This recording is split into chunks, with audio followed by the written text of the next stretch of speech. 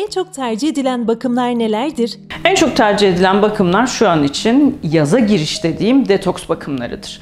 Aslında organik bakımlar yani pumpkin peel gibi bal kabağı bakımı, Hollywood bakımında denilen snow cell bakımları veyahut da vitamin C bakımları şu anda çok revanştadır. Aslında bunların amacı cildimizi yaza hazırlamaktır. Bunlar e, cildin tirozinoz enzimini baskılar. Yani ciltteki lekelenmeyi, cildin sivilcelenmesini, ciltteki kötü dokuların temizlenmesini sağlarlar. Bu çok büyük bir artıdır.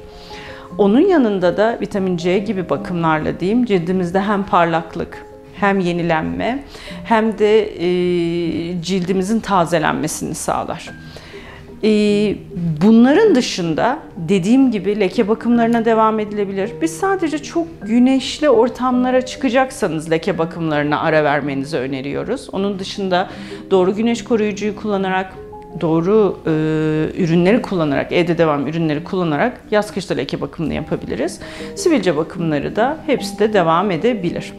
Biz bu organik bakımların tek başına aslında uygulayabildiğimiz gibi, tek başına 3-4 protokol yapabildiğimiz gibi bunları genelde diğer bakımlarla kombinasyon yapmayı tercih ederiz.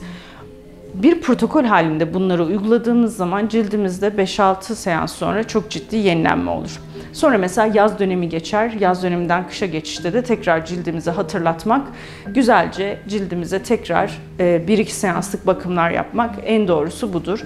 Yani çok ara vermek yerine cilt bakımı yaptırıp biraz ara verip cilt bakımı yaptırıp biraz ara vermek. En kötüsü 2-3 ayda bir mutlaka bir bakım yaptırmamızı öneriyorum.